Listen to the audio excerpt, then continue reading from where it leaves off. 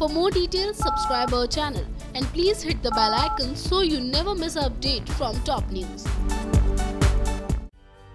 लोक जनशक्ति पार्टी प्रमुख और केंद्रीय मंत्री रामविलास पासवान की बेटी आशा पासवान ने पिता द्वारा राष्ट्रीय जनता दल नेता राबड़ी देवी पर की गई टिप्पणी को लेकर विरोध जताते हुए माफ़ी की मांग की है आपको बता दें कि बिहार के आने वाले लोकसभा चुनावों में जेडीयू और भाजपा के साथ मिलकर लड़ने वाले हैं पासवान और उन्होंने शुक्रवार को एक प्रेस कॉन्फ्रेंस के दौरान एनडीए नीति केंद्र सरकार द्वारा आर्थिक रूप से कमज़ोर सामान्य वर्ग के लोगों को 10 फ़ीसदी आरक्षण का विरोध करने को लेकर आरजेडी पर निशाना साधा।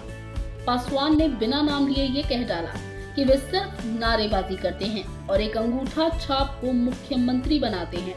ये अंगूठा छाप वाला बयान भी उन पर भारी पड़ गया और उनकी बेटी ने उन्हें कटघरे में खड़ा कर दिया है।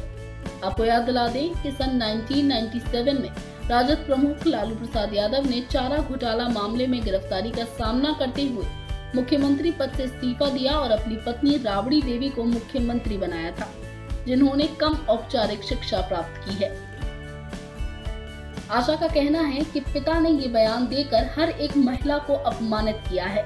साथ ही उन्होंने ये भी कहा कि मेरी माँ भी अनपढ़ थी, जिसके कारण पिता पासवान ने उन्हें छोड़ दिया।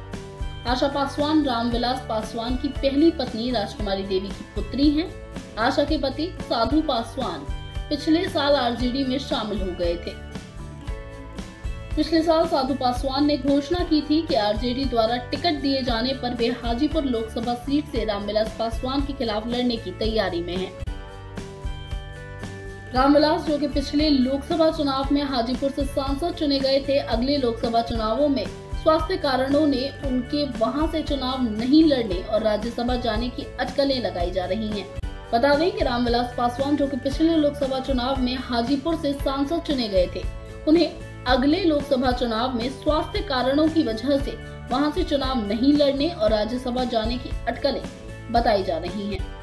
खैर, अब ये मामला कितना बढ़ेगा और क्या पासवान अपनी बेटी आशा पासवान के कहने पर मांगेंगे राबड़ी देवी से माफ़ी ये देखना अभी आगे की बात हो जाएगी। खैर, तब तक के लिए आप हमारे चैनल को सब्सक्राइब कीजिए। Top news just for you. For more detail subscribe our channel and please hit the bell icon so you never miss update from top news